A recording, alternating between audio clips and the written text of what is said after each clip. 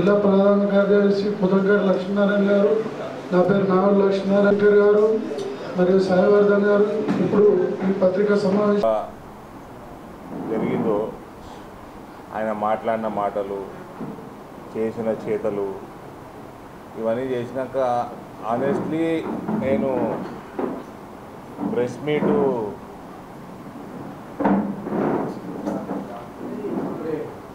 అనవసరం అనుకున్నా. ఇక మీరందరూ వచ్చిండ్రు. ఎలక్షన్ టైము అని ఇష్టం లేకుండా రియాక్ట్ అవుతున్నాడు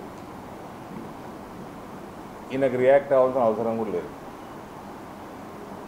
ప్రధానమంత్రి తెలంగాణకు వస్తే గుజరాత్ నుంచి ప్రధానమంత్రి వచ్చినట్టు ఈయన పాలమూరుకి వచ్చిండా ఈయన పాలమూరుకెళ్ళి వచ్చిండా నన్ను ఇంకా గుండు అంటున్నాడు. నేను నన్ను పాలమూరు పొట్టోడనల్లా ఏది ఎక్కడ పోతుంది? మన ఒక chairman of one of the media houses పెద్ద మనిషి మన రెస్పెక్ట్ఫుల్ రాధాకృష్ణ గారు. ఆయన ఓపెన్ హార్ట్ విత్ ఆర్కే నేను చేసినా ఈ రేవంత్ కూడా చేసాడు. నేను ఓపెన్ హార్ట్ విత్ ఆర్కేలో నేను మాట్లాడుకుంటా సార్ కేసీఆర్ దిగిపోయిన రోజు నా భాష కూడా మారుతుందండి అని చెప్పిన. ఇలాంటికి ఐదు నెలలు అయిపోయింది.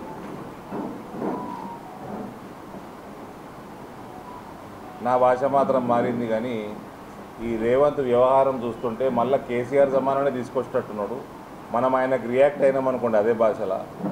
అది మళ్ళీ గట్లనే అవుతుంది ఈ తెలంగాణ రాజకీయాలు. దానికి ఉందాతనం ఎప్పటికీ రాదు. ప్రధానమంత్రి గారిని పట్టుకొని గుజరాత్ నుంచి వచ్చిండు. అని ఏదో గుడ్డు పెట్టుకున్నాట నెత్తి మీద. గాడిది గుడ్డని రాసి పెట్టుకున్నాడు కదా నెత్తి మీద. గాడిది గుడ్డు పెడతా అండి? అంటే రాహుల్ గాంధీ పెట్టిన గుడ్డ అది? రాహుల్ గాంధీ గుడ్డ? ఈ అది ముఖ్యమంత్రి చేసే పనుల? నువ్వు ఏమి ఎంత ఇంపార్టెంట్ ఎలక్షన్ ఇది? ఏం ఎలక్షన్లు నడుస్తున్నాయి? దేశానికి సంబంధించిన పార్లమెంట్కి సంబంధించిన ఎలక్షన్లు నడుస్తున్నాయి. ఆయన ఒక గుడ్డు పెట్టుకున్నట కాంగ్రెస్ అభ్యర్థి ఒక గుడ్డు పెట్టుకున్నట. కాంగ్రెస్ అభ్యర్థి కన్నా ఆయన ఆయన వయసు ఆయన వయసుకు తగ్గట్టు పనిచేయాలి కదా.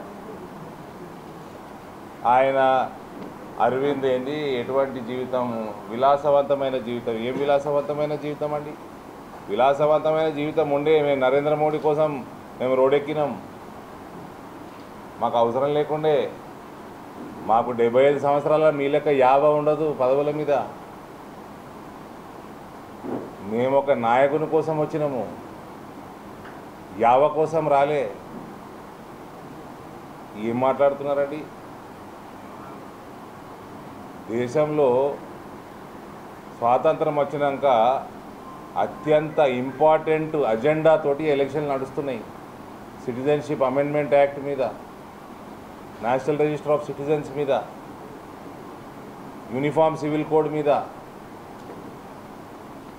దేశం ఐదవ ఆర్థిక వ్యవస్థ నుంచి మూడవ దానికి పోవాలి. పాపులేషన్ని రెగ్యులేట్ చేయాలన్నా వద్దా చేస్తే ఏ రకంగా చేయాలి? కశ్మీరు మెయిన్ స్ట్రీమ్లో కలిసిపోయి కోట్లాది మంది టూరిస్టులు పెరుగుతున్నారు అక్కడ. ఒకటే మూడు ఫోటోగ్రాఫ్లతోటి మాల్డీవ్స్ని కథం పట్టించి లక్షద్వీప్ని ఏ రకంగా పెంచిండు? అరే దేశంలో ఏం జరుగుతుంది? అయోధ్యలో రామ మందిరం వచ్చింది. మీరు గాడిద గుడి పట్టుకొని ఎత్తి మీద పెట్టుకుని ఏందండి? గుడ్లు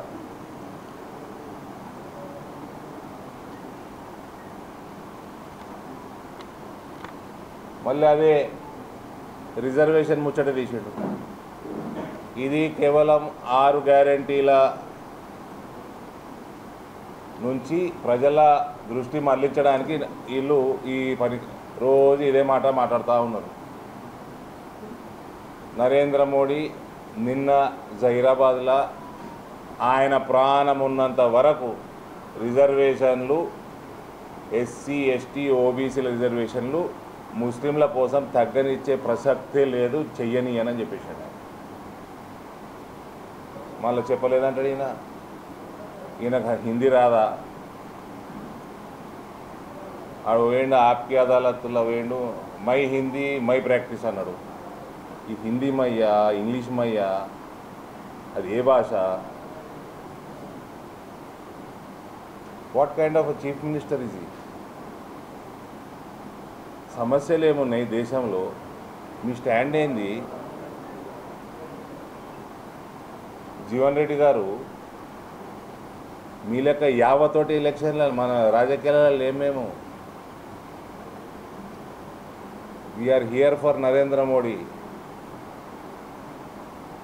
అని చెప్తున్న భారీ మెజారిటీ తోటి బీజేపీ గెలుస్తుంది ఈ సీటు. ఈ మీకు వయసుకు తగ్గట్టు మీరు స్టేట్మెంట్లు ఇవ్వండి మీ వయసుకు తగ్గట్టు వ్యవహారం చేయండి గుడ్లు మోసుడు ఏందండి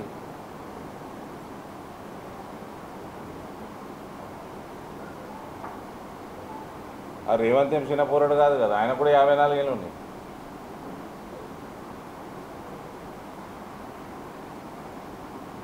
आप भी है यहाँ पे उर्दू मीडिया भी है मुसलमान को रिजर्वेशन कोई नीयत से दिया बोले तो नरेंद्र मोदी है ईडब्ल्यूएस में नरेंद्र मोदी दिया रिजर्वेशन कांग्रेस वाले क्या जक मारे क्या सत्तर साल से क्यों जाके बीसीओ का लूट के देना आप नहीं थे क्या सरकार में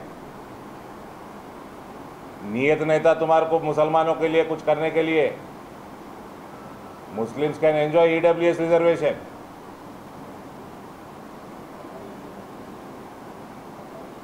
Religious ప్రాతిపదికన ఉన్న ముస్లిం రిజర్వేషన్ తీసేస్తా అన్నాడు నరేంద్ర మోడీ ఫస్ట్ ముస్లింలకు రిజర్వేషన్ కల్పించండి ఈడబ్ల్యూఎస్లా you can utilize from the ten percent Muslims have to think भगवान दिया ना दिमाग दिया ना सोचो ना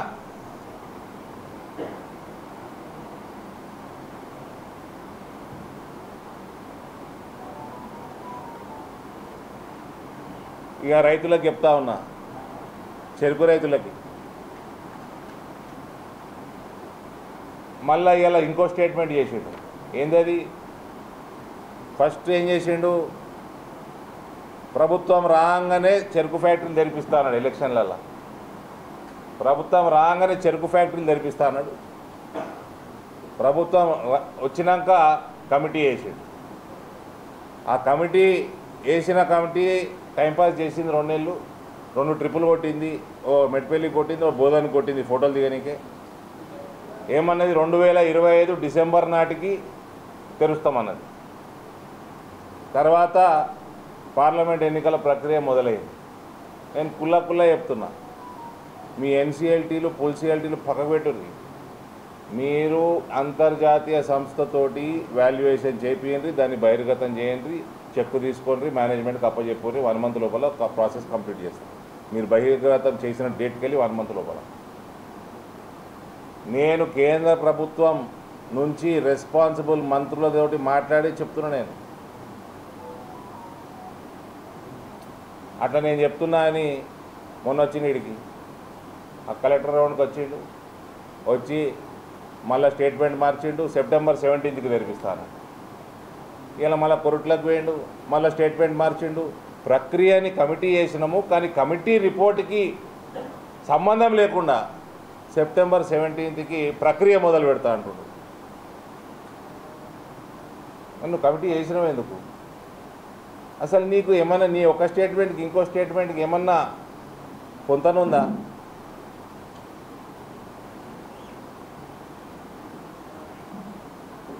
గాలికి ఉన్నది గాలి మాటలు గాలి చేష్టలు ఏం చేసిండు? గాడిద గుడ్డు చేసిండు. ఏం చేసిండు? గాడిద గుడ్డు చేసిండు. తెలంగాణలో కోట్లాది మందికి బువ్వ పెట్టేదోరు నరేంద్ర మోడీ పెడుతున్నాడు. తెలంగాణలో నేషనల్ హైవే మీద లక్షల కోట్లు పెట్టేది నా నియోజకవర్గంలో ఇప్పుడు. ఇప్పుడు మా ఒకటే రోడ్లో నాలుగు వేల ఒక వంద కోట్ల రోడ్డు. కాజీపేటలో కోచ్ ఫ్యాక్టరీ ఎందుకు రాలే? నడుస్తూనే ఉన్నాయి కదా పనులు. ట్రైబల్ యూనివర్సిటీ ఎందుకు రాలే? నడుస్తూనే ఉన్నాయి కదా పనులు. రామగుండం ఓళ్ళు తెలిసిండ్రు రాహుల్ గాంధీ గుడ్డు తెలిసిందా ఓళ్ళు తెలిసిండ్రు రామగుండం ఫర్టిలైజర్ ఫ్యాక్టరీ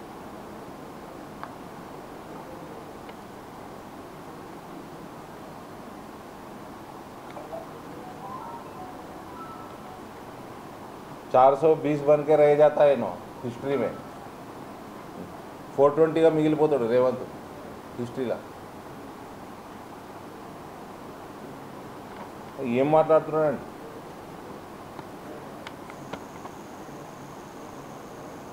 పసు బోర్డు మీద గెజెట్ వచ్చినాక గెజెట్ వచ్చినాక కూడా పసు బోర్డు రాలేదు పసు బోర్డు రాలేదు మోడీ చెప్పలేదంటే మోడీ ఏం చెప్పిండు మరి? నిజామాబాద్లో ఏం చెప్పిండు? అక్టోబర్ ఒకటి నాడు మహబూబ్నగర్లో ఏం చెప్పిండు? మూడో తారీఖు నాడు ఇందూరు మీద ఏం చెప్పిండు? ఈ మధ్య ఆదిలాబాద్లో చెప్పిండు? ఇక రోజు చెప్తాం తెలంగాణ వచ్చింది తెలంగాణ వచ్చింది తెలంగాణ వచ్చిందని.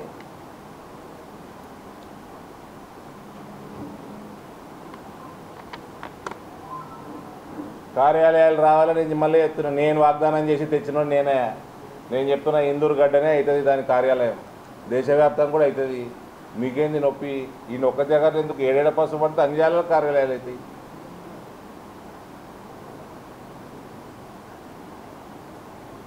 ఏందో ఏది మనం అంటే బుడ్రకాయని లెక్క వీధి నాటకాలు వేసుకోని లెక్క నడిచింది అలా సభ. గుడ్లు పట్టుకొని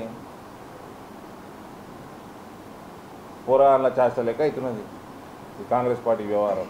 అందుకనే కాంగ్రెస్ పార్టీ పరిస్థితికి ఇది.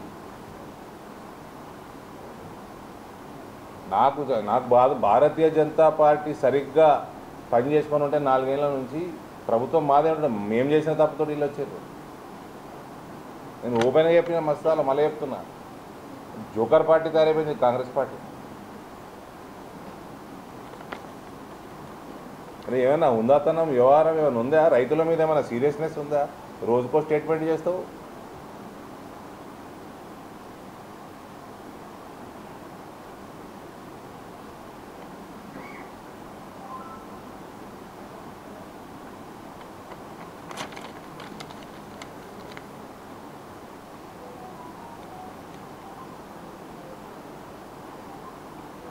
ఏమైనా ఉన్నాయా brother?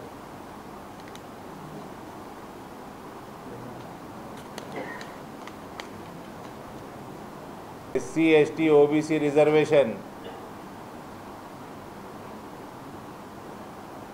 Narendra Modi garu బతుకున్నంత వరకు ఒవ్వరు ముట్టుకునేది లేదు అది అది ఆయననే చెప్పిండు.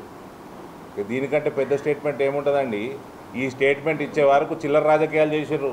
ఇటువంటి స్టేట్మెంట్ ఇచ్చే వరకు చిల్లర రాజకీయాలు చేశారు కాంగ్రెస్ వాళ్ళు.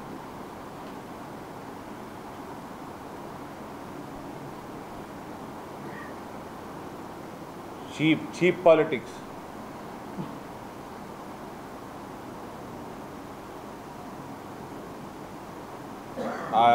మన కాంగ్రెస్ అభ్యర్థి ఆ, నిన్ననో మొన్న బోధనలు అనుకుంటే ఏదైనా మాట్లాడిండు.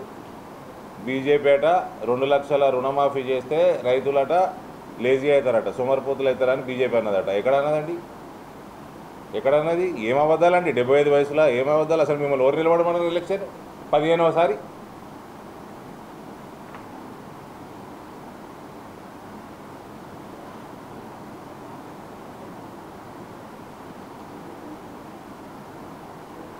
అబద్ధాలు మాట్లాడుతున్నారు తొండికెత్తుకుంటున్నారు అననివి అన్నట్టు చెప్తున్నారు అననివి అన్నట్టు చెప్తున్నారు. ఇంకా రానున్న కాలంలో అటాక్ చేయించుకుంటారట జీవన్ రెడ్డి గారు. దొంగ అటాక్ చేయించుకొని బీజేపీ మీద రుద్దుతారట ముందే చెప్తున్నా మీకు. అరవింద్ ఇది అన్నాడు అరవింద్ అది అన్నాడు వీడియో చూపెట్టుర్రి.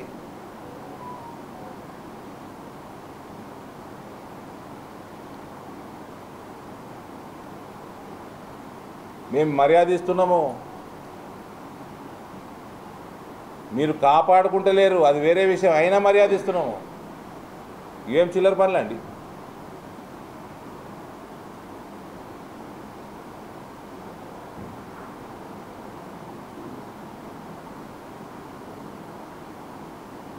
ప్రధానమంత్రి గుజరాత్ వాడు అంటున్నాడు. అరే నువ్వు మహబూబ్నగర్ వాడుగా అరే అంత పెద్ద పొజిషన్లో ఉన్నావు నువ్వు పొజిషన్లో ఉన్నావు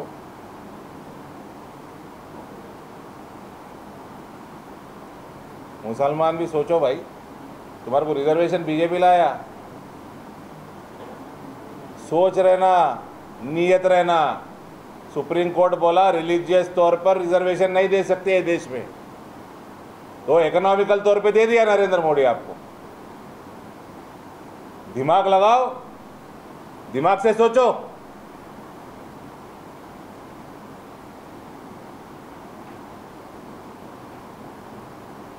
हिंदुओं से छीन के देते देखो, इसको बोलते रिलीजियस पॉलिटिक्स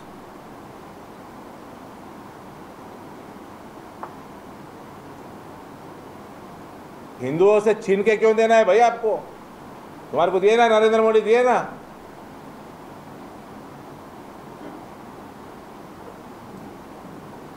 रेड्डीज को दिए, ब्राह्मण्स को दिए आर्य वैश्य को दिए नॉर्थ इंडिया में ठाकुर को दिए, सब अपर कास्ट गरीबों को दिए।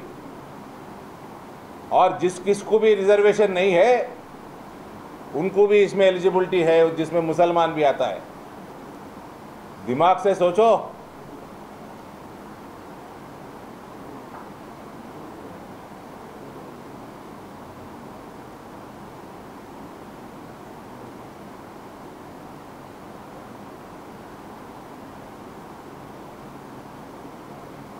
No questions?